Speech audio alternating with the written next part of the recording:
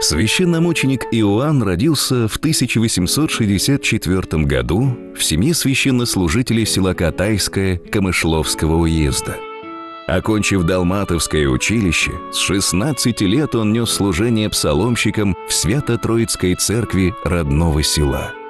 Иоанн, как человек очень любознательный, сотрудничал с Уральским обществом любителей естествознания – за свой многолетний сбор климатических наблюдений по представлению общества псаломщик Иоанн Плотников был отмечен архиерейской грамотой.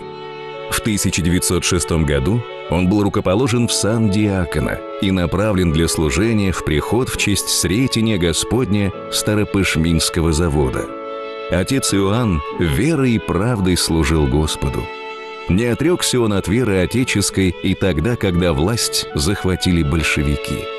30 июня 1918 года на горе Высокой отец Иоанн был зверски убит пришедшими к власти большевиками как представитель реакционного класса.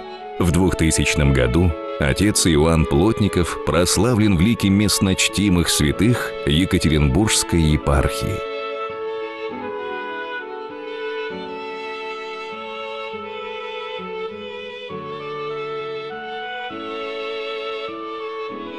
12 августа. День памяти священномученика Иоанна Плотникова, диакона.